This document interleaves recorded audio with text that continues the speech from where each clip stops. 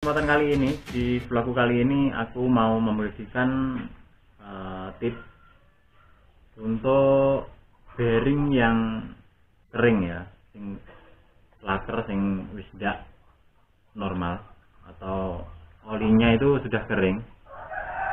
Sebelum saya servis kondisinya seperti ini. Macet oke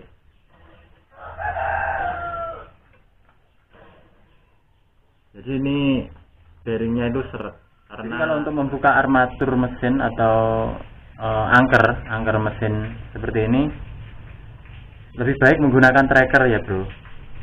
Karena kalau menggunakan tracker itu tentunya lebih aman. Uh, karena aku tidak punya tracker jadi aku menggunakan alat seadanya saja. Tapi harus dengan hati-hati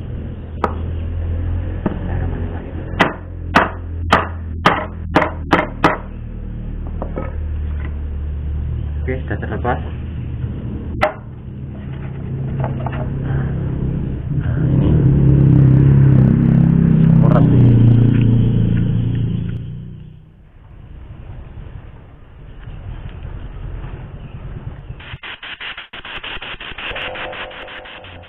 bersih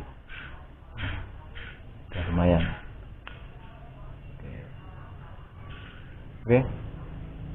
Jadi ini masih bagus ini kondisinya. Belum goyang sama sekali. Jadi Oke, setelah bersih dari kotoran yang menempel pada gotri yang ada di dalamnya sini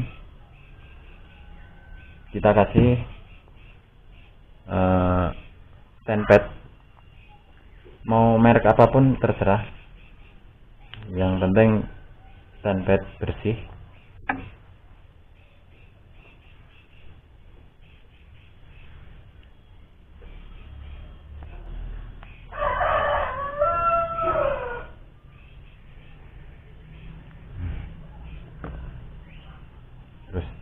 Diratakan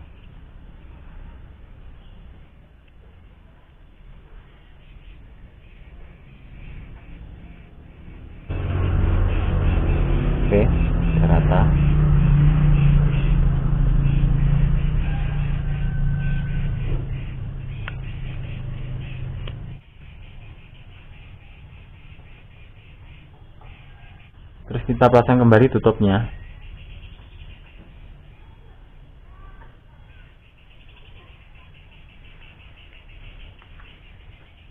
Bersihkan.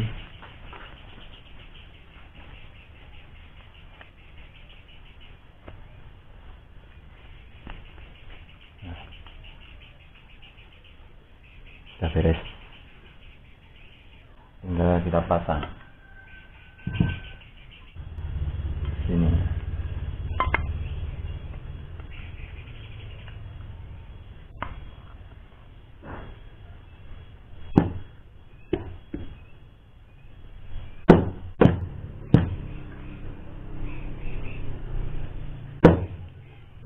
Sepasang. Kita coba. Hmm, suaranya lebih enteng ya dari yang tadi.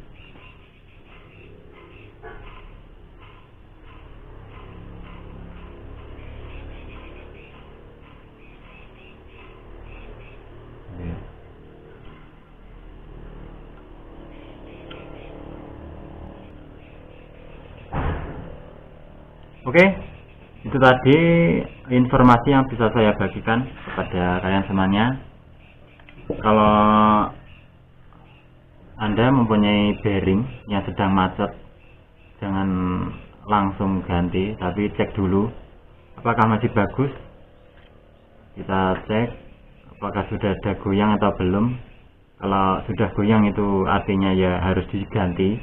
Tapi kalau belum goyang cuma seret aja. Kita bersihkan terlebih dahulu gotrinya itu. Terus kita kasih standbed e, masalah yang sering terjadi itu kalau untuk mesin seperti ini itu biasanya bearingnya itu kering dan terkena debu ya.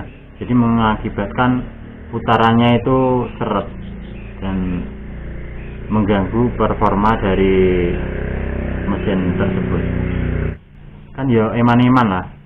Kalau misalnya masih bisa digunakan masih bisa diperbaiki kenapa harus beli? Kan gitu.